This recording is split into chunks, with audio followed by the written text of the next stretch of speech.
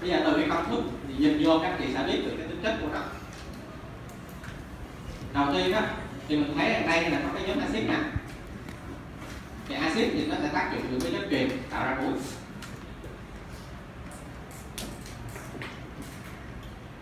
và cũng từ cái nhóm axit này nè, các chị sẽ tạo lên với lại cái alcohol ra cái ester. Là chỗ này nè, là nhóm axit, đây là alcohol thì chúng ta sẽ sinh ra được cái ester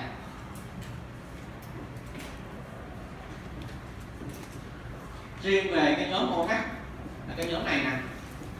Đây là cái OH gắn trực tiếp lên trên cái dòng thơm ta gọi là cái OH phenol.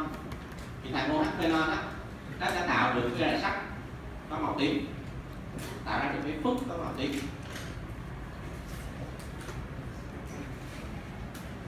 Và cũng chính cái nhóm OH này hay là OH tức là ancon á thì tác dụng được với lại một cái axit chẳng hạn như là amyric acetic đi thì các chị sẽ thu được cái ester ngay tại chỗ này.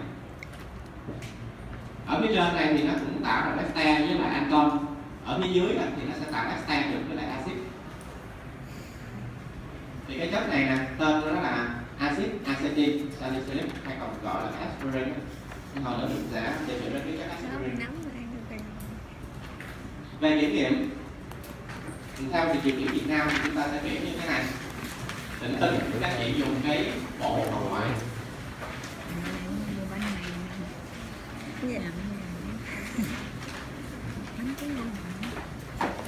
Bộ hồng ngoại thì các chị sẽ chọn cái chất của mình đó khoảng từ 1 cho đến 2 phần trăm. Với lại cái chất KBR là kalibromid đó thằng này đó thì cộng hai thằng lại thì nó khoảng 100 mg. Rồi sau đó các chị mới em đi nén ở cái lực có khoảng từ 4 cho đến 7 tấn. Trên 1 cm luôn. Ta dùng những cái máy nén thủy lực. Ta nén á thì các chị sẽ thu được cái dạng là dạng viên và cái viên này đó thì nó trong suốt. Nó giống như cái nước áo của tôi vậy nè. Ra đường kính khoảng 11 cm chị mới cho nó vào trong cái máy quang phổ hồng ngoại. Cái máy quang phổ hồng ngoại thì ở dưới bộ môn á cái phòng à, cân á, có cái máy quang phổ hồng ngoại. À, giá là khoảng à, 60 ngàn đô hiện nay quy đổi ra khoảng chừng à, tỷ mấy đó. Thì bộ môn có cái thì các chị à, đo xong á thì nó sẽ ra cái cổ rồi nhìn trên cái cổ này thì chúng ta mới phân tích chẳng hạn như chúng ta có một cái đỉnh hấp thu thì cái đỉnh này nè nó sẽ có cái số sóng. Cái số sóng nó đứng lên cái cm của trừ một. Nó sẽ chạy dài từ 4 ngàn cho đến 400 cm của trừ một. Ví dụ như cái nhóm OH thằng này có nhóm OH đó không? Thì nó đã nằm ở trong cái khoảng á, ờ, cái đỉnh này là là khoảng ờ, ba ngàn ba. Rồi nó có cái nhóm CO tại COOH nó có nhóm CO nhưng CO nó khoảng một ngàn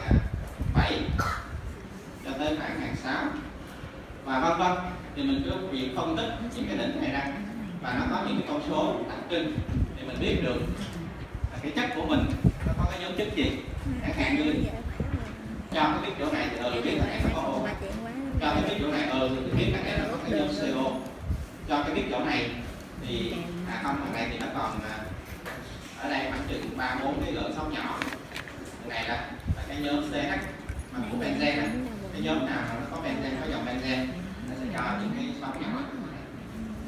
Các chị cái việc nhìn vô thì các chị biết được cái công thức của nó có cái gì trong trọng à, một cái công cụ rất là mạnh để nhìn vô cái công thức phân tử của chất.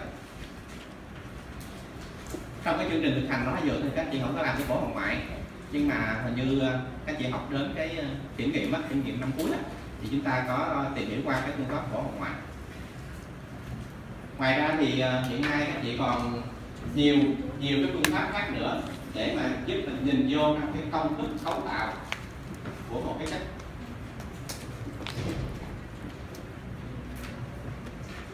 Theo dịch viễn Việt Nam 4 thì nó đưa rất là nhiều cái mặt chất ờ, để mà định tính bằng cái phương pháp bổ hồng ngoại và phía sau cái phương diện viễn Việt Nam 4 thì nó có những cái bổ hồng ngoại chuẩn của một loại chất mình chỉ việc đo là mình so ra để mình biết được không cần phải làm những cái phản ứng quá học tốn thời gian. Mình chỉ việc trộn một chặt rồi mình đo. Rất rất là nhanh ở chúng ta điểm ờ, uh, bằng cái điểm trải điểm trải của thằng này bằng bao nhiêu? Đây này chỗ này nè. Điểm trải nó nằm trong cái khoảng này. Nếu như cái chất của mình cho cái điểm trải nằm trong cái khoảng này thì cái khả năng rất là lớn đó chính là cái axit salicylic còn nếu như cái điểm trải của nó thấp hơn thì nó có thể là axit salicylic đó. Nhưng cái axit salicylic này nó không có sạch. Nó nhiễm nhiều tạp chất.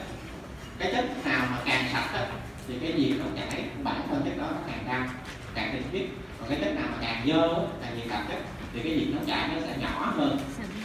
Còn nếu mà các chị đo cái nhiệt nó chảy nó lớn hơn khoảng trên 200 thì rất là nhiều khả năng. Thì chắc mà các chị đo không phải đây có thể là giả mạo hoặc là nhầm lẫn để đo nhiệt nóng chảy thì bộ môn cũng có cái máy đo nhiệt nóng chảy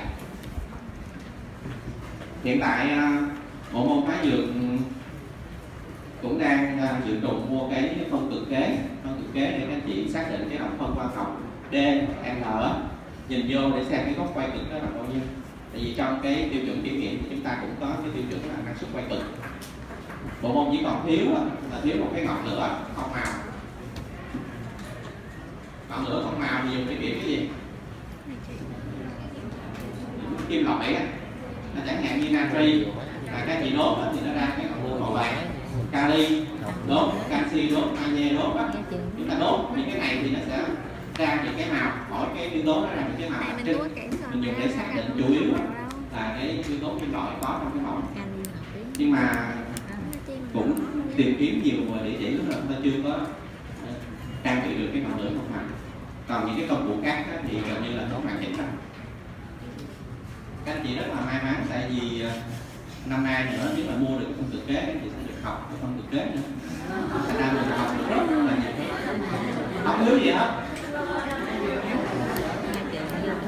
còn nếu mà nói về còn khoa nhiều cách thì hiện nay chỉ còn thiếu một cái máy cộng hưởng từ hạt nhân nữa là còn tất cả những cái khác là cái ta bị đầy đủ hết nhưng mà thằng này thì nó tiền quá.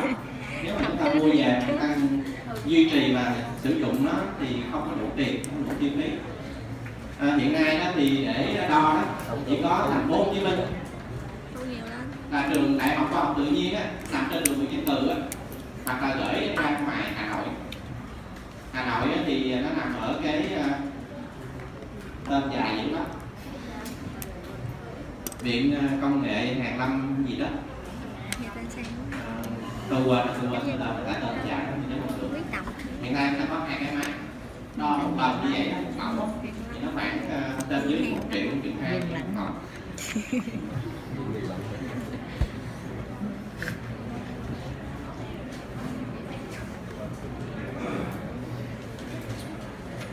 rồi chúng ta có uh, định tính xong rồi nhé. Bây giờ là định lượng. Định lượng đó thì uh, dễ thôi. Thằng này axit nên định lượng bằng axit ba giờ chỉ bị là phenol cái này. là phenol tallinn nha. Mới là phenol đó. Phenol tallinn ghi một phenol là sai rồi.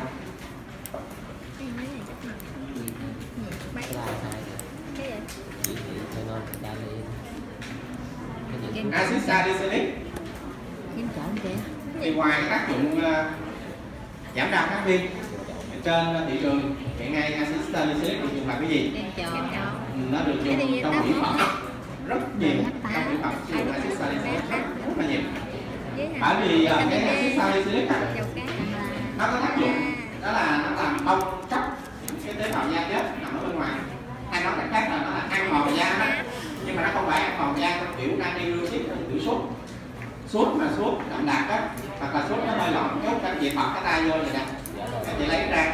Thì mình rửa tay cái da mình nó sắp ra từng lớp lớp lớp để ăn da rất là dữ còn cái axit salicylic thì không. Nó chỉ vào mòn đi những tế bào da chết nằm ở bên ngoài. Để nó để lộ ra một cái lớp da non. Và các chị biết cái lớp da non đó, thì cái lượng sắc tố ít hơn thành nó trắng hơn. Và nó hồng hào hơn. Đó là ra cái người mà sản xuất mỹ phẩm đó người ta trộn cái axit salicylic vào trong những cái chế phẩm kem làm trắng da đó